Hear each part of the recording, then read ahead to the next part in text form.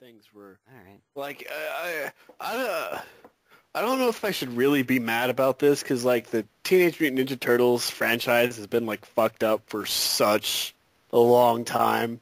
TMNT was pretty good, actually. Yeah, the movie was good. Yeah, not the series. I had, I mean I don't watch the know. series, Me neither. but I barely we're watched gonna the make series when I was a judgments on it. Damn it! Well, that's our but- job as, you know, teen, not teenagers, young people. Yeah, we're Teenage Mutant Ninja Turtles. That's our job as rambunctious Ninja Turtle teenagers. Hey guys, Extreme attitudes and skateboards. Podcast. I'm Raphael. I have Michelangelo over here. Say hi, Michelangelo. Good job. Now no, I'm Leonardo. we also got Raphael in the studio because he's me. Good Donatello- job, Raph. Donatello to my right. Say hi to the audience, Don. Don's dead. we killed And him we got rock. Leonardo as well. Give the audience a shout out, Leo. Cowabunga. Uh, where's we're tool. We're in for some tubular times today in the We're Pandora's podcast. Because Because we're aliens. because we're fucking aliens. Not that we are aliens, we are never mind. Uh, Still waiting to hear from Don over there. Is he back from the hospital? Don.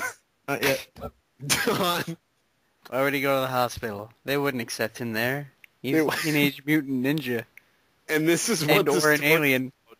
it- the turtles is I mean our lives trying to integrate with true life in New York City. Watson has to be Michelangelo. Watson is he's he only does cameo. He's Splinter. Then who's He's Shredder. Michelangelo? Watson can't be Shredder. The door is Shredder. It's part of the it, 'cause it crushed it's a defeated Watson. Because it's Watson's enemy. Watson is training us so we can beat the So shit out of your door. door. So we can kill Yeah. your door with extreme But no, uh, Michelangelo was taken and uh, Find the door. we have to go find him. We have to Save his life along with April O'Neil. Who plays April O'Neil? What's what's closest to the door? A doorknob? Shit, there you go. Oh. Yes. Don, are you back from the hospital? Why is he at the hospital? Ah, fuck it. Dude, because he died, but they brought him back to life.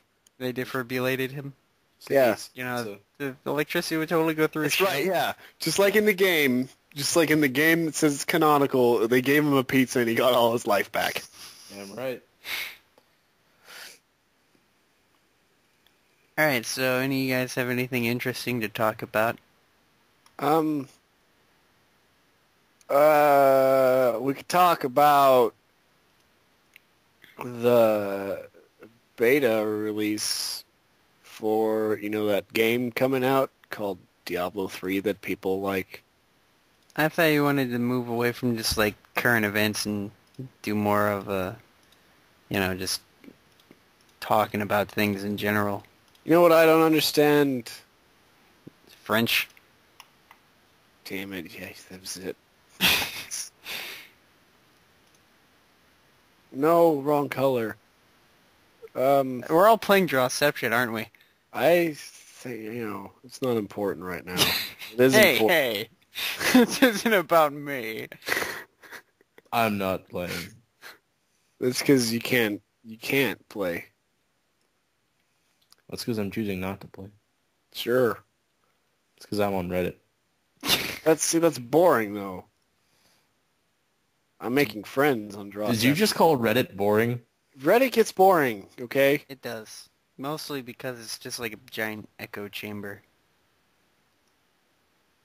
After like three hours, it's just like, yeah, now at this point everyone's just saying the same things. What Reddit do you go on? This is the Reddit where everyone just echoes the same sentiments pretty much over and over again. So it echoes the same sentiments? Sentiments. Cinnamons. Sibilance. Cinnamons. Sibilance. It's I go places like r slash Batman. Never been there before in my life. You haven't been to the Batman subreddit? No. John, no one goes on Reddit as much as you, okay? It's just truth. I remember when Reddit was just a child.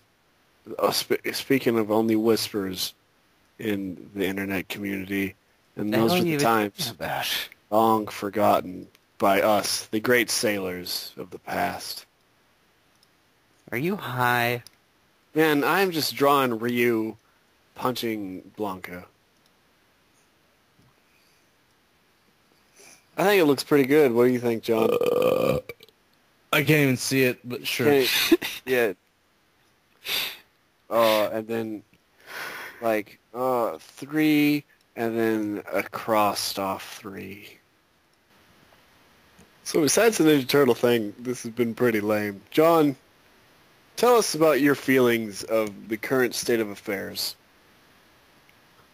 About what? About anything, John. When I say how's The life, the first thing that comes to your mind is, Terrible. Why? yeah, why, why, John? Let's delve deeper into the human emotions of why and ask ourselves this and emerge from the muck not just as humans, but as, As knowledgeable Devo. humans. Devo. Yeah. So, John, how is life? Um, my life or just life in general? Just, you know, Any sort of answer, God damn it. yeah. You know what, Taylor? Just shut the fuck up for a second. Uh-oh. Whoa. Perhaps the the drama from John's life is spilling over into the podcast. Tell us more. No. I don't know what you want to know other than the fact that I work all the time. It's exhausting. So one day I was playing a game.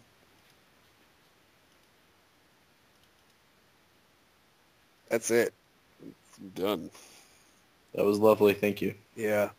You know, okay, here's my thoughts on Mass Effect since you asked, Taylor.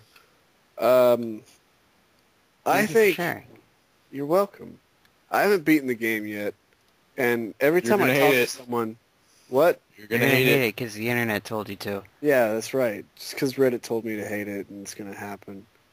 Uh, but no, I haven't beaten it yet. But the reason I'm not playing it so much is because I think it's too combat focused this time. Like, Well, it's about the Geth invading Earth, right? no, it's not the Geth, it's the Reapers. Okay. What, whatever. I don't even know. But it just it just really it just really feels like I don't know, I'm just going from one combat sequence to the next one.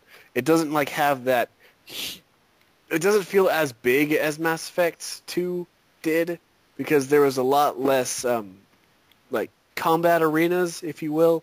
Like there was a lot less places to fight. So they I feel like they had to think more about like how they're gonna actually let you do this like you know how how they're gonna let you win in this open world or like how they're gonna let you play it. Is, am I making any sense at all? You never do. No. Yeah. Okay. Mm. Like the world feels it's very hash and you know you're very it's very I'm drawing a Wookiee, okay, so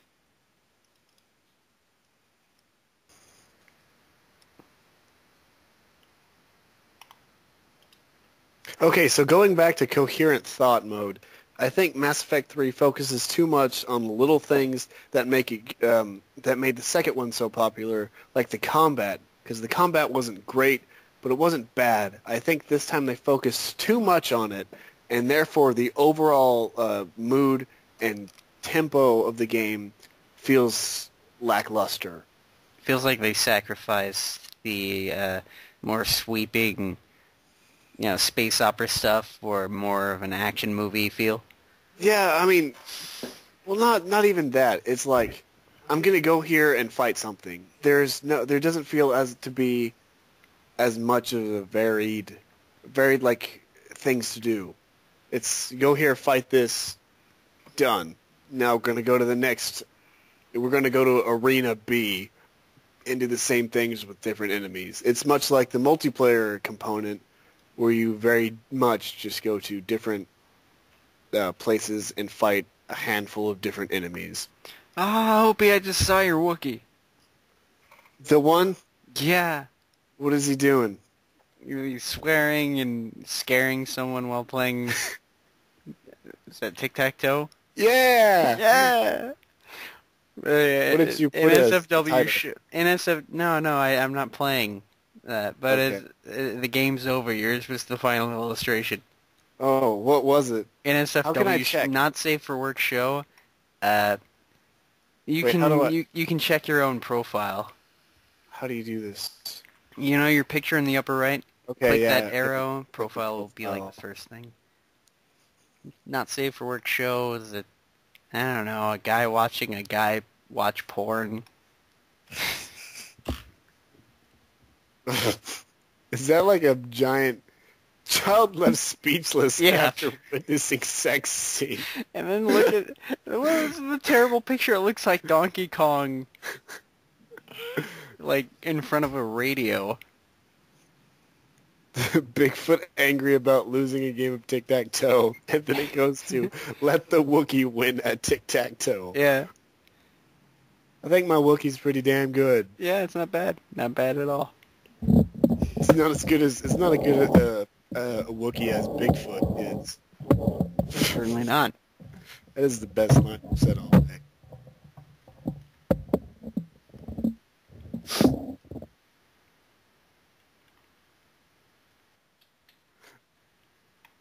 So, John, how's life? Tell me what your favorite game is. Favorite game? uh, let's see. Right now, Of all time. of all time. Of all Oh, time. man. You're really just gonna throw that out there? Favorite game of all Just time? throwing it out there. Yeah. Maybe I- Reddit will tell you the answer. It won't. yeah, Um, Will, you're not looking hard enough. Thanks, Taylor. Um, let's see. I think my favorite game of all time would have to be Super Mario 64. it's wrong. It really is. Hold on, I'm searching our gaming for favorite. It's not wrong. It's wrong. No. It's wrong. the best game on the Super Nintendo was Paper Mario, and that means it's better than Super Mario 64. So your answer is wrong. Uh, I'm gonna have to say screw you. Did you play Paper Mario? Yes, I did. Did you beat it? As soon as it said Paper Mario, uh, I I found someone saying Paper Mario is the best game I've ever played. Not even Oh. kidding. It was probably Opie. No. No, not saying this, it's this no, is not Opie. This is someone named Lalantos908. That's Opie. It's No, it's not, not. me. Opie That is is not me in a time machine that I went back in time else, and then set know. this up for no reason, and then I alluded to that one just so this would blow your mind. Yeah, two not- days in advance setting this up. No, Opie's not that smart. Yeah. I mean, wait. I mean, yeah. no, John. Why? Okay, why is Super Mario wrongfully your favorite game of all time? And don't be like, oh, it's because I played a lot as a kid. It's gotta be like, oh, because the game mechanics were really pioneering the way for 3D models of its time. All right, why Super Mario is my favorite game of all time? Yeah, r- write me a verbal essay. Okay. I think that uh, it's probably one of the first games I ever actually sat down and beat. Um, I think that looking back, it was probably, it may not have been the most graphically amazing game that has ever come out, but it showed what the N64 was capable of. Yeah, there were problems, but there's problems with almost every game. Except for Paper Mario, but we already talked about that. It was the first time Mario had ever come to what could be considered a 3D platformer. Um, and it was just brilliant. The, the different worlds was just amazing. And it was one of those games that, you know, it was I sat down and played with my dad, and it was just one of those things that like it's the first game that I've ever actually had a emotional connection with. That you know I had this this drive to beat it because I wanted to see it through to the end, and it became like a like a, a thing for us like a bonding thing for me and my dad, and then that turned into this uh, thing, especially with the the N64 and the GameCube. This you know this future with gaming, and then it that obviously is you know now it's just me, but in my own my own personal system and everything like that. But it's just become it, it kind of got me into gaming to a degree. Whenever I was a kid, and even like to this day, I like the first game that I really sat down and played was Duke Nukem 3D, and like in my eyes, especially with that kind of game, I was like, I'm not the right age group for this. This is made for like you know older, older people, and then I was like, there's no way I'm gonna beat this. So I just, so I'm just gonna play it little by little, and even t- now, like I don't play games to beat them, because I don't think it's like possible. I, I like the only games that I beat are the only ones that like I try really hard and I think you know that like it deserves to have me see the end because as much as I worked hard playing it, it worked hard trying to keep me entertained. So I I think that's cool. I like I don't know. I guess maybe I'm just weird, but yeah, like when I was a kid, more like Mario Kart would be my game because there wasn't a end to it. It was simply like, hey, you're playing Mario Kart now. Yeah. Isn't that great? So to that end, uh, it would be it, it, it, it segues into my favorite game of all time being Morrowind because it has that open-endedness feel to it, and you don't necessarily have to play it to the end to get like an enjoyed feel out of it. I would say most people didn't play Morrowind to the end. Yeah, the only reason I picked up Morrowind is because of Toonami. Like they reviewed like three games in their span of Toonami-ing, and Morrowind was one of them. Yeah, Morrowind, Icewind Dale 2, and what, Yeah. was the, what was the third one? I don't, I don't know. That was just an ex- that was an expression. But I remember like the computer AI, like Tommy or whatever his name was. He didn't want to play. Yeah, Yeah, Tom. Tom. Yeah, he didn't want to play Morrowind, but like the computer AI was like talking to him about it, and she really wanted him to play it for some reason. And then she made a comment that the game was so long, you might not even care to see the ending. And like that's like, you know what? I could I can get in a game like that. And I remember I picked it up at Target back when you would get sh- shit at Target. I Yeah. picked it up for the computer, and I have logged over 300 hours in that game on one character. That's I pretty lo- I cool. lo- oh man, that's pretty sad. Is what I heard. Taylor, what's your favorite game? Ooh, uh, a tie between Phantasy Star 4, Final Fantasy 6, and Last Story on the Wii. Like the I game, wasn't The Last expecting Story. any of those answers. I know. Well, well, what were you expecting? Pikmin. Like- Pikmin. Minecraft. Nah, Minecraft's fun, but I mean, it's not Minecraft. best game ever. I don't. I don't feel Minecraft is a game. I agree with the idea of people, the cult of people that say Minecraft is a toy. It's it's like Legos, but in your computer. Yeah, just like that, John. John's. Imagine Godzilla playing with you Legos, and that's what John was doing. ice breath and all. Did Godzilla have ice breath? Whatever. No, no, Godzilla uh, had like you know nuclear beams. because because that's what yeah was Godzilla like just a mutated lizard Yeah, He was a dragon. yeah like how would the lizard have because it, was from the Bikini Atoll Islands, and it was their reaction to the testing. It was sort of Japanese reaction to the Bikini Island testing so of I heard that the. Russians did a Godzilla movie and it was called Chernobyl did they? yeah but it was an, it was a real life movie Are you just referring to the Chernobyl disaster? Or No, I, I imagine. um, Or like, are you saying? it was called Stalker.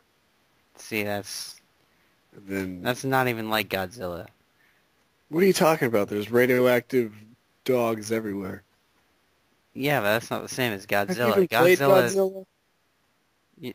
I, I've seen I've seen several Godzilla movies. So why are these games your favorite? about? Like Uh, pick one of them, and then say why it is your favorite. I'm. I want to hear about Final Fantasy. I mean, Phantasy Star Four, because everyone has their own favorite Final Fantasy game. Even John, right, John? Ten. but you want to yeah. hear about a Phantasy Star game? Yeah, like I mean, I played Phantasy Star a lot um, with my friends. It was two and three. Played two on the GameCube. No, Right. no, no. That tho- that's Phantasy Star Online. This is back when it was just a JRPG. No, like because Phantasy Star Online was two and three. No, there's look, I there was just Phantasy Star, then Phantasy Star 2, then Phantasy Star 3, then Phantasy Star 4, then Phantasy Star Online, then Phantasy Star Online 2 and 3. Okay, yeah, that's right. Because Phantasy Star two and three were like on the Super Nintendo, or they're old. Genesis. Yeah, Yeah. like Genesis Master Drive. Um, Phantasy Star 4 is just it's, uh, probably the best example of one of the best examples of a I, I of of a JRPG, of a classical cell JRPG, like that and Final Fantasy 6. Man, I, I don't even know. It's it's I'm not gonna lie. It's partly going to just be nostalgia. It's also because uh, the story is just everything's great. I don't know. I'm doing a very poor job of describing why I like the game. Yeah, but you've also been up for like thirty six hours. Oh, okay. Not, So okay, here's a here's here's a question. Round two. Do you think that they can uh, replicate this game again? Not like do a remake of it, but like Yeah. have the same astoundingness to it. uh yes. well, this is for everyone. No. So you don't think Nintendo can ever make a game that's good as Super Mario 64 again? Well, I think that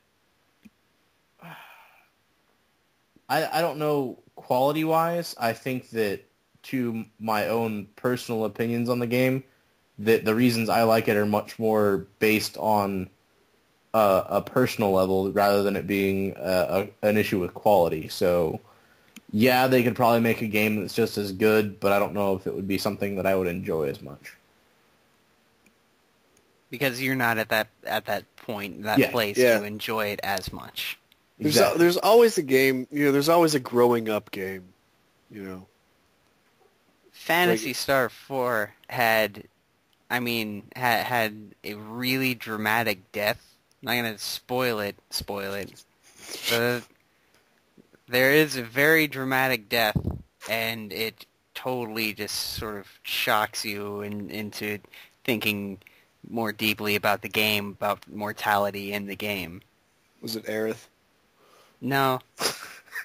this this game came out a good six years before seven. So shut up.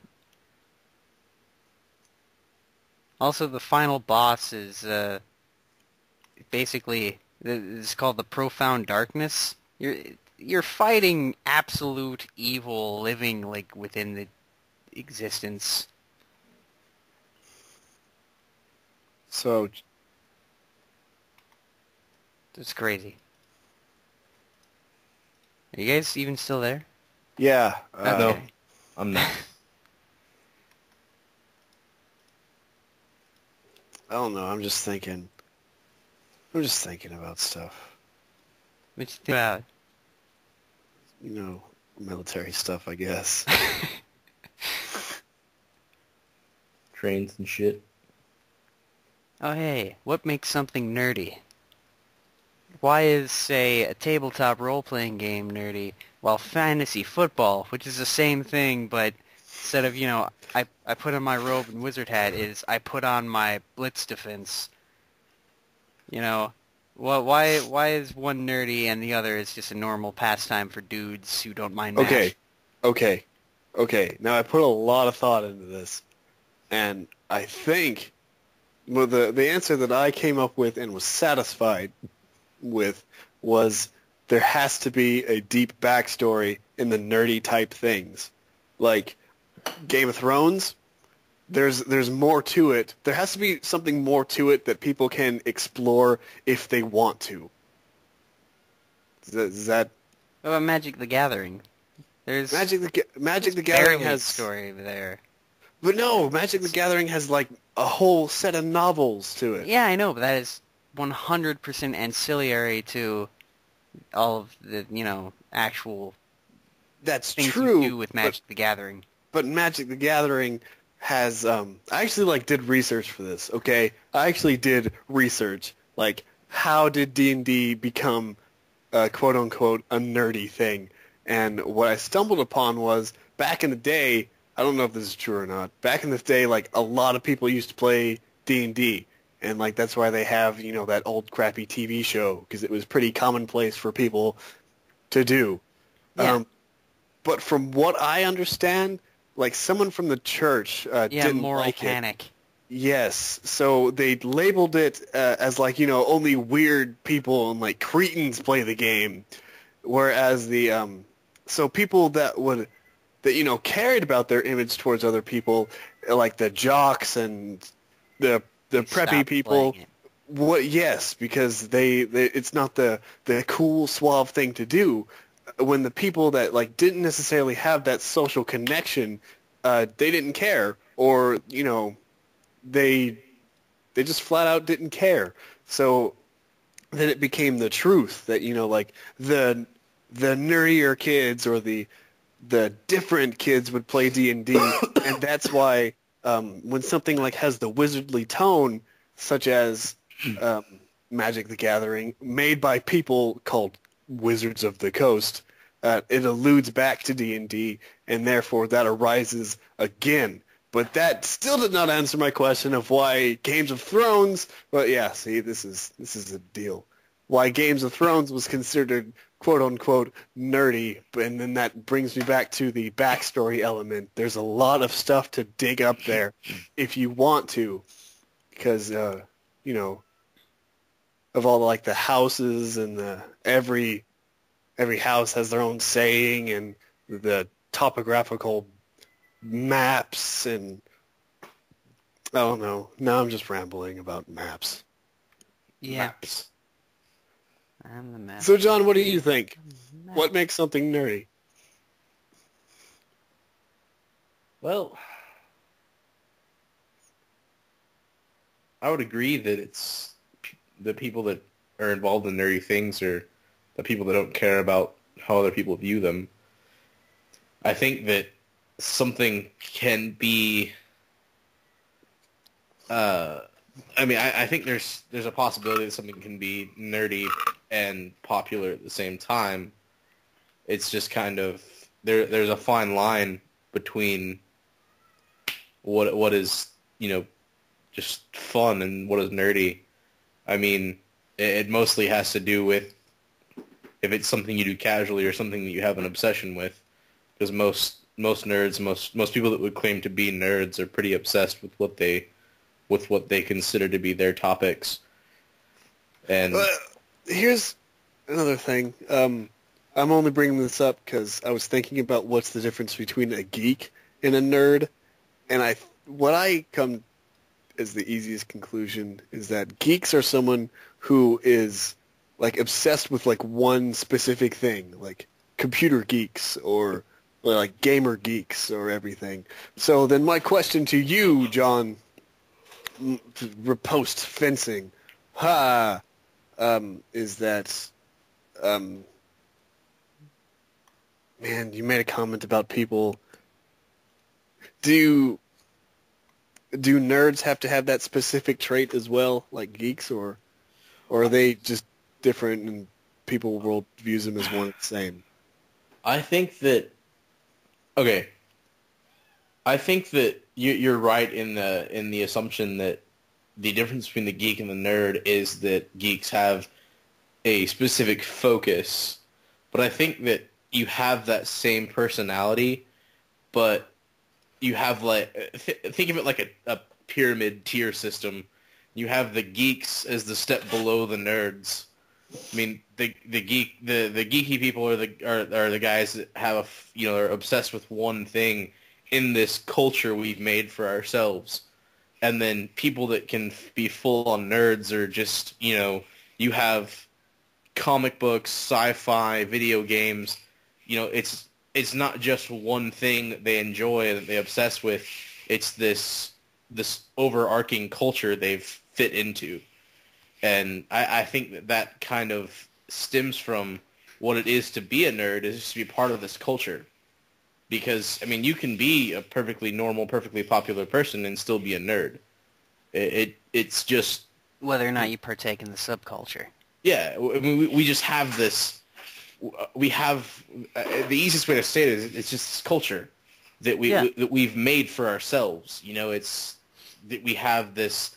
It's like we stereotyped ourselves into a box because that's, we have. That's, that's the way communities work, though. Yeah. That's the way cliques work and everything. Uh, you know, a lot of people define themselves by uh, what home console they enjoy most, or if they enjoy playing more on PC. Like we all self-identify as redditors, and we take you know a little at whether or not you acknowledge it at the moment. You, you take a little bit of pride in being privy to all, all lot of the in jokes. You know.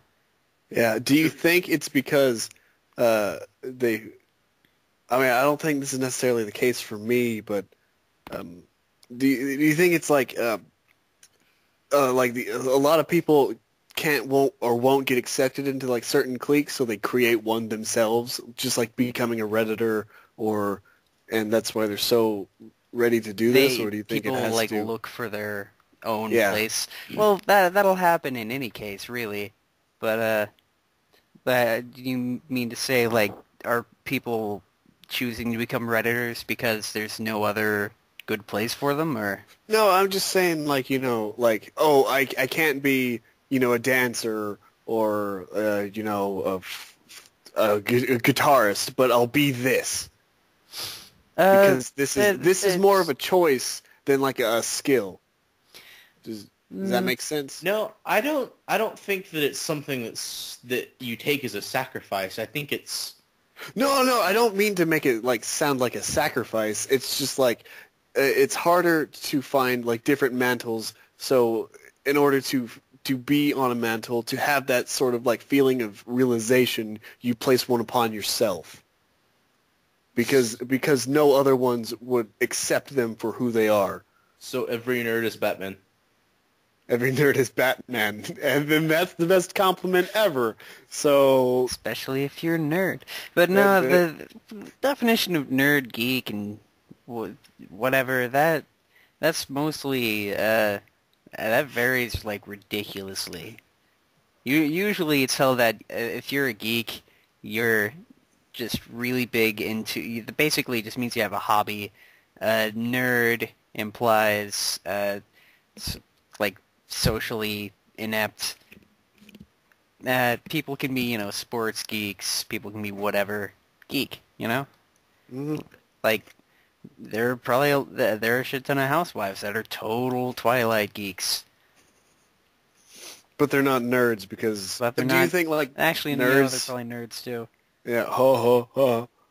Um, no, they're housewives all, you know, creaming themselves over vampires. They're, they're playing that Twilight, like you know, pen and paper adventure. RPG. Yeah. Does Twilight text-based adventure would be hilarious. Oh my god. Does. Edward go to the dance with me? Roll the d20. On an odd number, he will, and then on an even number, yeah. he also maybe. will. Yeah, but he'll do it silently. But but he'll watch you while you sleep Yeah. Also, bonus. Yeah, bonus to hotness for Edward. You'd like have a You team. smell extra good that day. Yeah, you you would have uh God, like like a team of vampires that would go to your school, and like you wouldn't get to choose who you're dating, but you try to attract each one of them separately. Are you basically saying it's a Vampire the Masquerade dating sim using as many tables as Gygax would? Yes. That would be weird, but interesting. And that's what makes them nerds. Yes. I think we're nerds for coming up with this. Or at least Are we nerds or are we awesome? Oh, on a side note, do you still have the the rules for the the dice game we made? I think they're still in your car. I'm not sure I ever took them. Okay, because I found like scraps of one of them before we like combined everything. Uh, so I didn't know. I don't think you took him either. I just gotta find him.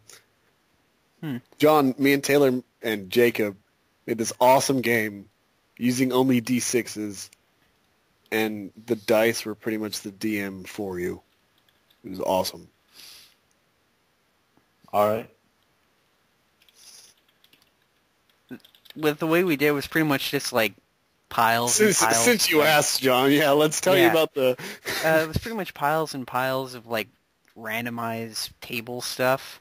So I mean, I don't know.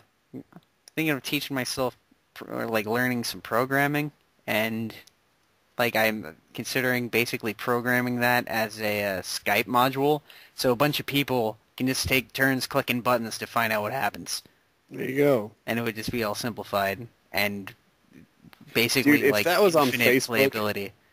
if that was on Facebook, the game that well, you wouldn't because there's that yes and no aspect as well. Yeah, that, that's that's why I was saying it. Skype. You know, Yeah, or whatever. I'm not sure how hard it would be to do it Facebook as well. I don't know. Well, I'm saying if you could like market that on Facebook, if a Yeah. game played itself and all you had to do was click a button, like that would be the most hypest shit. You've been watching a lot of Two Best Friends play, haven't you? I don't want to. I don't want to. Yeah, be the hypest shit. I mean, Spider. Do you remember that one time Spider-Man just like killed Mary Jane over his years of radioactive semen? no. well, that shit happened. It was the hypest shit. I like that saying. I'm going to steal that from them and use it in my life. You're welcome. You can't you can't use America. That's too obvious. Oh, I wouldn't use that one anyway. Oh, okay. Because I hate America. Yeah, that's right. That's the subtext. We're all picking up on it. America's not the hypest shit. America. That's right, John Thomas. Uh-oh. Fuck yeah. What were we false- talking about before we like went off on like the What Twilight makes RPG? things nerdy? Yeah, but like, how did we get to the? I, dude, I don't know. Okay, okay, I got this. Okay, go. I got this. go, John. Okay, Taylor was talking about housewives creaming themselves for Twilight. And then I came in with I'm the talking about that. You were talking I about made- housewives. He was just talking. He was like talking of that. Yeah. That wasn't that wasn't like the object of my That Yeah, discussion. it's not like we sat down. We sat down and we wrote a list of subjects, and then like one of us like, okay, guys, but we have to talk about hi- housewives creaming their pants. Like that is that has to be done. Okay, Ninja Turtles, and then like you know, nerdy stuff, and then housewives and pants. Yep. Makes sense to me. That's totally something that happened. Totally.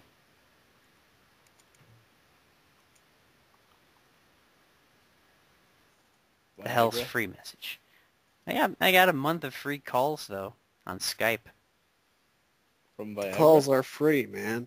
Yeah, I know I can call landlines. Opie, I'm gonna call your cell phone. Hold on.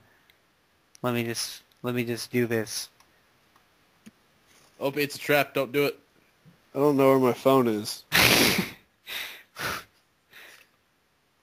Ah.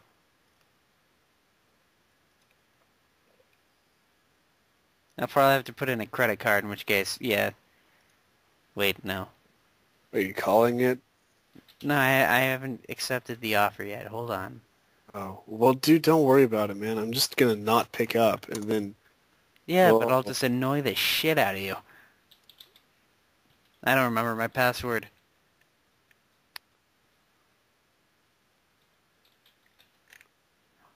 Oh well. I like how we have really good, like our conversations will start to go and they'll take off and they'll hit like the stratosphere and then they'll just stop. Yeah. And plummet back to Earth. Yeah, I think it's because it's like 1 a.m. Our conversations are bottle rockets. Yeah, there we go. But damn it, they're rockets. You Whatever- know what happens if hey, you get enough whatever bottle happens- rockets and you time to a rubber band? No. Then someone puts that shit on YouTube. Oh. Whatever happened to the old school, you know, like classic adventure story? I mean, like, Like Robinson Crusoe, like Captain Blood, like, you know, that sort of thing? Like Tarzan, like Princess of Mars. it became like, you know, just like old hat. I suppose it became like- it came it went out of fashion and never came back in. Yeah, much like first-person shooters will. They're going to become so oversaturated that people are just going to get sick of them. I don't know. Do you mean, I, I no? think I think the world is just sort of waiting for another Robert Louis Stevenson to show up and write Wait, a story wait, John about saying no, kidnapping and he's people. poking his laptop. John, explain why. Why I don't think first-person shooters will go out of style? Yeah. Well, I think that they will to a degree, but I think there will always be one, at least one in popularity. And the reason being, I think that it's just kind of, I think that it'll be one of the, the ones that's special. It's not like a, a Call of Duty or a Battlefield, but where it's just run and gun and, you know, gr- grab an ammo refill here and there that it's not really plot driven. I think the games like Bioshock and I mean you can even consider Portal a first person shooter. I, I think those kind of games will, will stay popular and I think they'll stay stay good as long as people are pushing a story element through the sieve of a first person shooter. Okay, here's a question for you then.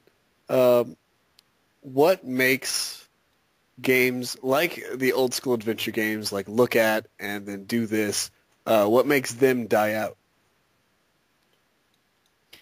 Uh, technology moved past the text interface. That's what I was thinking. But then um, a different thing comes up where it's not, it's not just like text adventures, mostly like adventure games in general, like Myst. Uh, there's no text in that game besides like the ones you pick up in the books. Why are there not games like that, or why are they not so prominent as they were? Well, Uh, go on. Fight. I think that the reason that they're not as popular, I mean, I think there's still some in existence here and there, but it's being marketed to a very limited audience because you have this. I mean, game developers out to make money. Uh, No, no, but why? Why is the audience limited when it I- used to I'm be so getting there. vast? Okay, I'm, getting there. Shh, I'm just saying. Opie. We're gotta go talk. past the. We gotta go past the stratosphere. Opie, let me talk. Oh, talk. Okay, the reason the audience is We're limited. going to the moon. Everything's because- coming up roses. Why did Brad do that? I'm sorry, Jonathan. Go on. It's because gaming is currently Let him being talk. marketed towards this this audience of twelve to twenty year olds Lowest The- common denominator. that have no attention span, that can't problem solve, that can't handle games like that. And the thing is, is that all it's doing is it's breeding this gaming community of people that can't play games that are remotely challenging. It's why games that are original aren't being made. It because they keep just recycling the same old shit because it's what people are used to and what they can do and it's just going to keep making them money until we get back where we have, you know, the gamers like from our generation can actually sit there and be like, "No, I want a game that's challenging they're that saying- I can have some s- damn fun with." They're saying that now with the Kickstarter stuff. Yeah. Yeah. And the thing is, is that that's going to show them, hey, this actually can be done. It doesn't have to be a multi-trillion dollar budget. and you can actually market this game to this audience of it's not just really young people or really old people playing Tetris. The and median, the Farmville. median age of gamers, and I mean like actual gamers, not you know like uh, poking, Yeah. like bef- this. This was before you know the casual explosion. Uh, For Facebook. yeah. Well, not uh, actually. You know, yeah, probably before Facebook. But uh, the the median age for gamers, actual like console gamers, PC gamers, like non-social games, uh, Right. is is going up. It's something I think like 36 now. So That's- I mean, the the primary au- audience. Sure, there's a lot of stuff aimed at the lowest Well, common denominator. well, well, hold but- on. They might be the primary audience, but they're not the ones that will pay, um, like more. Like if this, they're not the ones that will go out and buy it opening day because you know they're sitting back. It's like they probably have responsibilities. They have things they need to do. They can wait a few months or weeks for a game that they want to play. Whereas like the kids, uh, like John was talking about, the twelve, especially like the the teenagers. Um, We'll just splurge. we'll just yeah we'll splurge and they need to get that game like right now they need to get the new the the next call of duty right now because I. I I think that's. I mean, I understand the point, but I, I that's sort of like baseless. no no it it is no um from where i work i actually see this a lot and i was watching a show yesterday um Yeah, but that's one- that's just like people coming in brick and mortar, though. In your specific brick and mortar, that yeah, you can't say that's gonna be the same everywhere. no but it it is like they want to get call of duty because it's the it's the just the Because next their friends one. are playing it. It's yeah, I get it. Yeah, like the older the older group doesn't necessarily have that. Like they don't have to get it right then. They can wait for the price to drop for it. You know, they can Be- they can wait. It's not yeah, because it's not a uh, you know semi crucial you know social thing for them. Like which like which means yeah, which means in turn they won't spend important to children. they won't spend as much on it. And therefore it's not a big deal to market towards them. So they may be the people that play games the most, but they're not the ones that will that are willing to drop that, you know, that big hard cash breaking the bank on it. Uh, I I don't really think yeah, that's the issue. I I'm not even 100% sure what the hell we're talking about anymore. Like what the actual topic is.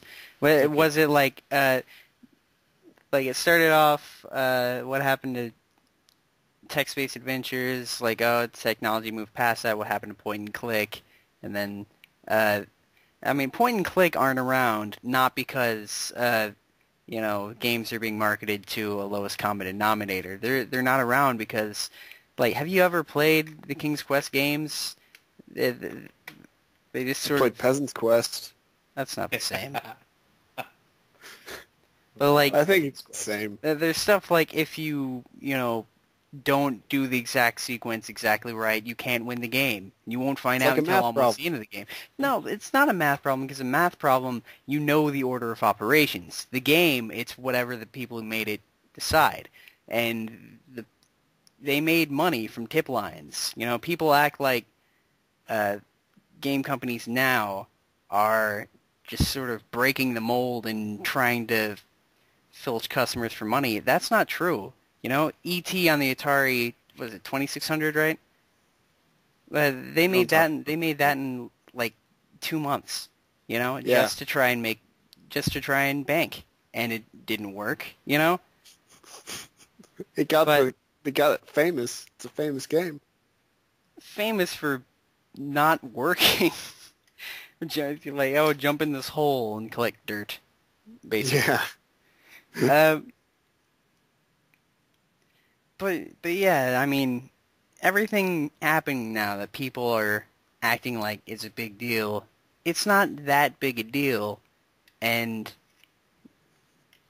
well, it, it'll just end up you know blowing away, like so much dirt ET tried to collect, and all this and all this end up getting buried in the Arizona desert. Yeah.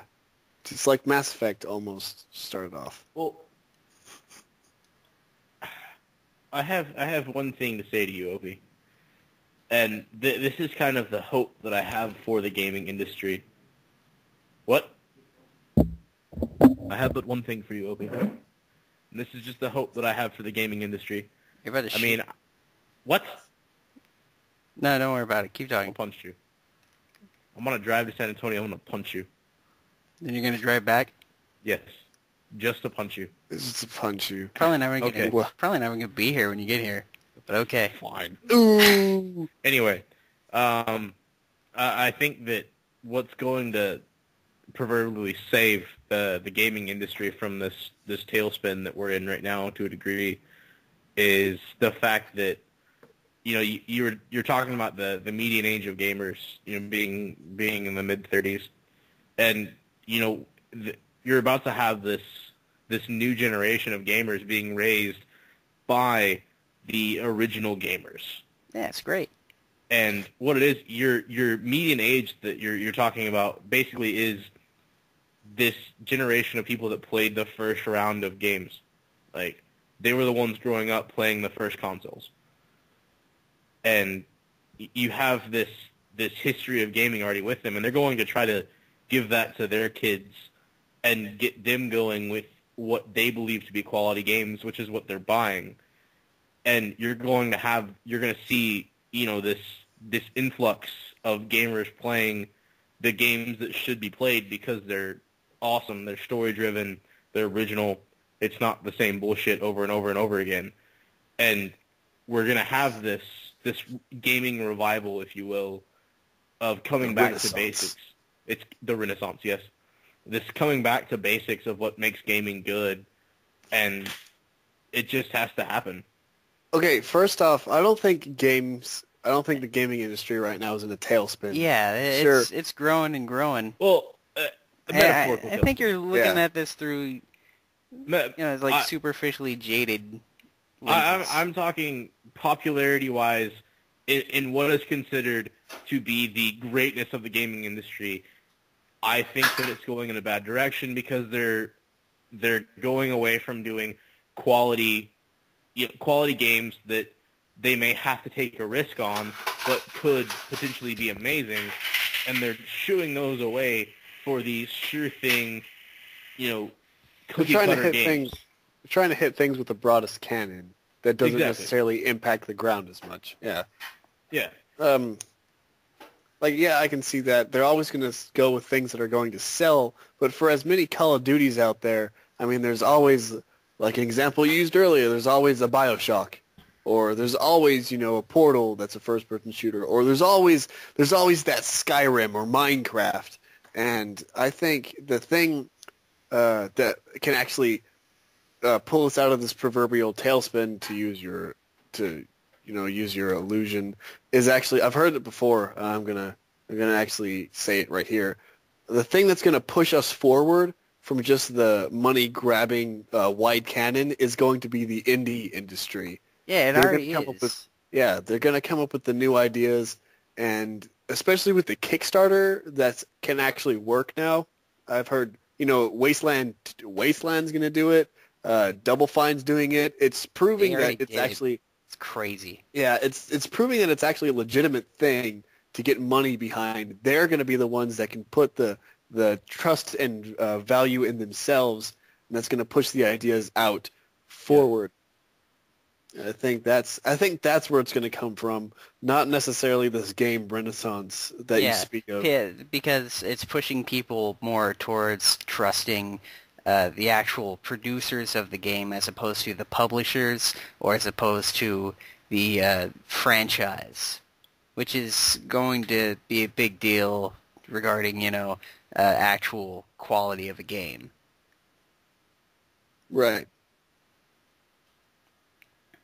But yeah, I, I think, I mean, gaming, if anything, has just been broadening in scope and, and just there's there's so much out there you can play. There's so much out there you can experience.